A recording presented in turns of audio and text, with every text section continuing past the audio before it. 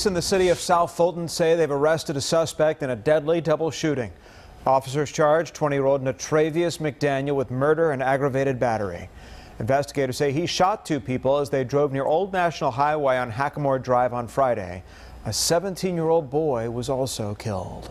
Sine? Well, Tom, the National Center for Missing and Exploited Children needs your help to find a teenager who's been missing for a year now. Now, take a close look. This is 15-year-old Lamont Brown.